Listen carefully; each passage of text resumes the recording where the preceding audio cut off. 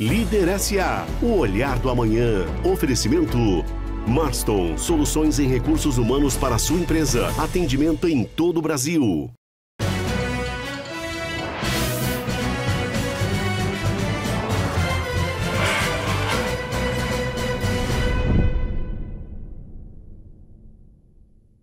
Olá pessoal, muito obrigado por sua companhia em mais um Líder SA que iniciamos agora junto com vocês. No programa de hoje eu entrevisto Sérgio Santos, o General Manager da AMD no Brasil. Há mais de 50 anos, a AMD impulsiona a inovação em tecnologias de computação, gráficos e visualização de alto desempenho, os elementos básicos para jogos, plataformas imersivas e data centers. Centenas de milhões de consumidores, os principais negócios da Fortune 500 e instalações de pesquisa científica de ponta em todo o mundo confiam na tecnologia AMD diariamente para melhorar a maneira como vivem, trabalham e se divertem. Os funcionários da AMD em todo o mundo estão focados na criação de ótimos produtos que ultrapassam os limites do que é possível. Nomeado gerente geral em 2019, passando a ocupar a cadeira de principal executivo da companhia para o Brasil, Santos está na AMD desde 2016, quando iniciou sua segunda passagem pela empresa. A primeira durou sete anos entre 2004 e 2011. O executivo acumula mais de 25 anos de experiência no setor de TI. Iniciou sua carreira na Itautec. Desde então passou por grandes empresas como IBM, HP e Microsoft. Sérgio, é uma alegria ter você aqui conosco. Seja muito bem-vindo ao Líder SA. Eu que agradeço, Ricardo. Muito obrigado pelo convite. Obrigado ao Líder SA e ao SBT por me dar a chance de participar aqui com vocês. Uma honra para nós. Sérgio, para a gente começar esse nosso bate-papo. Gostaria que você contextualizasse para o nosso telespectador e para a nossa telespectador um pouquinho da história desse gigante global que é a AMD e um pouco da operação no Brasil. Conta para a gente um pouquinho sobre a AMD.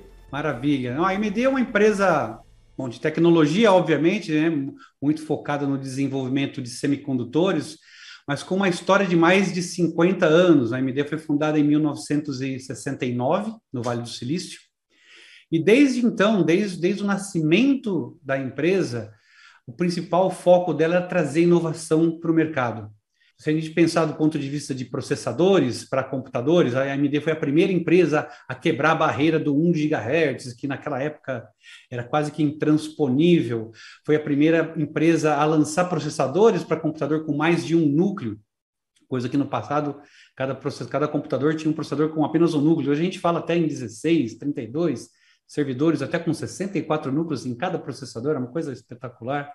E desde então ela, ela vem mantendo esse, esse ritmo de trazer inovações para o mercado de uma forma muito consistente. A última inovação que nós trouxemos, que trouxe uma mudança significativa, um impacto significativo, é a produção de processadores para computador e placas de vídeo, né, que são muito utilizadas aí no nosso dia a dia, com a tecnologia de fabricação de 7 nanômetros, que é uma, uma fabricação de tecnologia, hoje é a mais, praticamente, eu diria que é a mais avançada que tem, mas o, o benefício dessa, dessa tecnologia é que ela traz muito mais desempenho com menor consumo de energia, que é muito importante, seja para o usuário doméstico que quer mais horas de bateria no seu notebook, ou um grande data center que cada watt que ele economiza na tomada tem um impacto gigante no meio ambiente, inclusive. Então, trazer novas tecnologias que tragam mais desempenho, mas também tragam mais é, menor consumo de energia, ou seja, uma melhor sustentabilidade, faz parte do nosso DNA. No Brasil, nós temos um escritório aqui em São Paulo e nós atuamos em praticamente três segmentos é, da AMD. Desde o segmento corporativo, que atende grandes empresas, Pequenas e médias empresas, grandes empresas, seja para PCs, servidores. Nós também, também temos o, o segmento que atende os clientes de varejo, ou seja, aquela pessoa física que vai no varejo comprar o seu computador.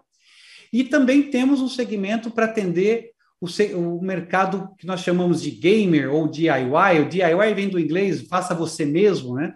Que sejam são, são aquelas, aqueles entusiastas que eles querem montar o seu próprio PC, ou seja, eles compram as partes e peças e montam o seu PC. Esse mercado está muito ligado aos gamers, né, que são fanáticos por tecnologia, Mas também não é restrito aos gamers. É também, hoje, a gente vê um crescente aqueles criadores e desenvolvedores de conteúdo digital, que precisam de cada vez máquinas mais potentes para que eles possam executar seu trabalho no menor tempo possível ou com mais qualidade possível. Sei que com certeza tem muitos gamers e muitos influenciadores nos assistindo, sabendo é, que a entrevista seria contigo. Compartilha conosco quais são as novidades que a AMD está trazendo em relação a produtos para esse pessoal que monta as máquinas é, e utiliza para uma finalidade um pouco mais específica, os computadores é, mais potentes, ainda que é, de uso pessoal. Não, maravilha. A gente anunciou recentemente na Computex novas, novas tecnologias que devem chegar agora no final do ano, que vão melhorar muito o, o desempenho das máquinas. É, ela é um pouco mais técnica, a gente fala que são tecnologias de, de cache em 3D, ou seja, aquela memória que tem dentro do processador, ela, o que né, hoje seria em 2D, nós vamos adicionar um, um, um elemento a mais para trazer mais desempenho, mas recentemente nós fizemos dois anúncios muito importantes e que para o mercado brasileiro é muito interessante. Por quê? Bom, primeiro a gente anunciou uma linha de processadores que a gente chama Ryzen 5000G, né? esse G da parte gráfica. O que, que é isso? É um, são processadores que já têm a placa gráfica dentro do processador. Isso existe há, há bastante tempo, né? não, é, não é novidade. A AMD foi, aliás, foi a primeira a lançar isso lá em 2006. Mas a diferença dessa nova linha é que o gráfico que está dentro do processador ele é tão potente que ele permite o gamer jogar em jogos, em, a gente chama em 1080p, né, em Full HD, de uma forma natural, sem necessidade de uma placa adicional de vídeo. E isso é muito importante, Ricardo, porque no momento de hoje, né, a gente escuta na mídia muito falar sobre as criptomoedas, né, os, os, os blockchains, os criptomoedas. E, e, e, na verdade, esse tipo de tecnologia de mineração de criptomoeda, ele demanda muitas, muito placa gráfica para que esses mineradores consigam obter essas criptomoedas. E isso tem causado até um, um certo aumento de preço global das, das placas de vídeo, até uma certa escassez, porque eles estão demandando muito. Então, a partir do momento que a gente lança um processador que já tem uma placa de vídeo potente dentro dele, ou seja, o, o, cliente não precisa nem sequer comprar uma placa de vídeo, ele consegue montar uma máquina e essa máquina com esse processador, com esse vídeo embutido, vamos dizer assim, ele já consegue criar conteúdo, editar vídeo e foto, fazer streaming de vídeo, uma série de coisas. No futuro, se ele quiser fazer um upgrade, né, para melhorar inclusive o desempenho, ele pode fazer. Outro lançamento importante, e esse também para o nosso mercado é muito relevante, nós lançamos uma nova família de placas de vídeo para um mercado mais sensível a preço, ou seja, um, uma, uma, placa mais acessível, que a gente chama de Radeon 6600 XT, ou seja, é uma placa que entrega o desempenho necessário para um gamer poder jogar o jogo que ele quer, mas já num, num, num preço muito mais acessível se a gente comparado com os outros modelos top de linha que hoje estão em preços quase que proibitivos aqui no Brasil, até por uma questão do, do fator do dólar, né? Então, é uma, são novidades muito boas para o mercado brasileiro, América Latina, entre outros, que permite aos usuários terem acesso à última tecnologia, mas um preço bastante acessível. Sérgio, eu gostaria que você trouxesse um pouco da sua visão e da sua experiência, além de todos os anos de carreira, em relação ao mercado de trabalho de TI, porque eu acho até importante a gente incentivar quem está nos assistindo. É um mercado que extrema, está extremamente aquecido, salários cada vez mais altos, há uma escassez de mão de obra. Como você, enquanto principal executivo da AMD, com toda a tua experiência na área de tecnologia, tem visto esse cenário é, no Brasil para os próximos anos? Porque nós sabemos que até há quase que uma internacionalização dessa mão de obra, ou seja, tem empresas, por exemplo, portuguesas com unidades no Brasil contratando pessoas aqui para trabalhar remotamente devido à falta que ela até é global. No Brasil, como é, como você entende que a gente pode pode é, tentar minimizar esse problema, por exemplo? Nós estamos, se você analisar bem, nós estamos no que né, os especialistas dizem aí de um, um mega ciclo de computação de alto desempenho. Ou seja, ainda mais o fator né, da pandemia, ele, ele acelerou esse, esse ciclo, né, a, a adoção desse ciclo. É, a forma como nós trabalhamos, a forma como nós estudamos, a forma como nós fazemos negócio, a transformação digital, a inteligência artificial que é usada em negócios, é, a, a, alta, a computação de alto desempenho para o desenvolvimento de ciência, prospecção de minérios, óleo, é, simulações né, de desenvolvimento de indústria automobilística, entre outros. Com isso, né, se, se existe toda essa necessidade de poder de computação, de estrutura computacional, obviamente tem que haver uma estrutura por trás para manter tudo isso funcionando. E aí é que entra a necessidade de mão de obra. Então, acho que é importante aqui para o Brasil, obviamente, a gente tem uma deficiência de, de encontrar profissionais qualificados, até pela nossa estrutura educacional no país, mas acho que é importante haver incentivos governamentais para que a gente possa cada vez mais capacitar os jovens para que eles possam entrar nesse mercado que é tão promissor e que tem uma remuneração mais atraente que às vezes que outros segmentos. Então, é, é de fundamental importância que a gente melhore a capacitação aqui no país para que a gente possa atrair os talentos que, que vão fazer a tecnologia dar um salto aqui no Brasil. Promissor, e afinal de contas, né, Sérgio, tecnologia como diz a expressão, não tem ré, né? ela só vai andar para frente, ou seja, ele é muito consistente para quem entrar nesse mercado ao longo dos anos, mas também para a gestão desafiadora. Afinal de contas, a maioria desses profissionais são da, da geração é, Z, os nascidos meados de 1990 até 2010. Quais são os desafios de gerir essa turma que enxerga muito mais importante ser do que ter, por exemplo? Quais os desafios que você encontra na MD? Ela quer sempre o próximo passo, ela quer resolver o problema agora, ela já está olhando o próximo, e ela é muito criativa. Então, obviamente, né, para você fazer a gestão desse tipo de mão de obra, é, pelo menos na minha visão, eu acho que você tem que, obviamente, dar espaço para que eles possam trazer essa criatividade e essa inovação, porque tecnologia é, é, ela é praticamente né, só sobre inovação. Então, é importante que você dê espaço para que esses novos profissionais que já estão no mercado e os que estão entrando agora, eles tenham espaço para desenvolver essa criatividade e trazer as inovações, seja em qualquer campo, né? porque às vezes você usa a tecnologia como ferramenta, para trazer inovação e dar os saltos que, que nós precisamos, até como sociedade, para atingir um nível de desenvolvimento maior. É interessante você colocar isso, afinal de contas, um líder que está na na posição como você, numa cadeira tão importante, ter essa preocupação, essa responsabilidade social também é muito válida. Afinal de contas, a gente está num processo de transformação digital extremamente acentuado que já acontece e acredito eu que tende a, a acelerar cada vez mais. Como você percebe isso? Quais são as iniciativas que a AMD traz para os seus clientes e para o consumidor é, final na ponta? Clientes, eu quero dizer, as, as as grandes marcas de computadores que utilizam os processadores, por exemplo. É, como que vocês estão vendo as perspectivas para os próximos anos e se tratando da transformação digital que nós vemos acontecer não só no Brasil, mas no mundo todo? Eu diria que esse é um dos melhores momentos né, para se estar inserido hoje no, no segmento de, de tecnologia. É um segmento que aparentemente estava entrando numa curva de amadurecimento, mas nós agora temos a certeza que a gente está apenas começando.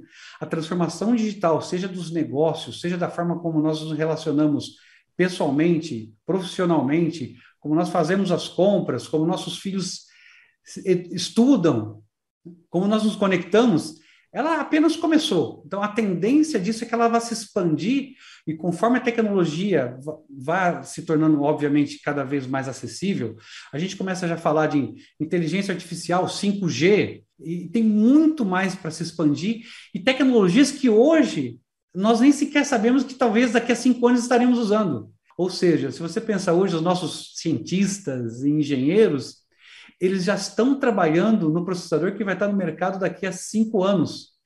Mas não é tão simples assim, porque você tem que entender o que, que vai ter, que tipo de serviço, serviços, perdão, vão ser necessários para atender a demanda da sociedade do ponto de vista computacional daqui cinco anos.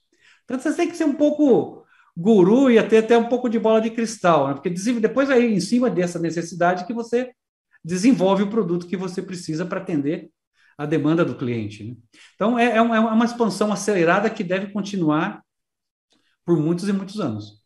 Nós comentamos aqui nos bastidores, antes de começar o nosso papo, um desses grandes desafios é certamente é, e cada vez mais se acentua é a questão de segurança cibernética. Claro que existem outras empresas que atuam em conjunto, não é a especialidade da AMD, mas como você percebe, Sérgio, é, a acentuação desse desafio é nos próximos anos. Eu até brinquei com você nos bastidores que hoje em dia não se bate mais carteira, se rouba é, pelo WhatsApp. Como você percebe que isso vai ocorrer nos próximos anos e quais são os desafios que vocês têm aí na AMD em se tratando dessa questão? Do ponto de vista da AMD, a AMD tem uma preocupação muito grande com segurança, até quando nós desenvolvemos os nossos produtos.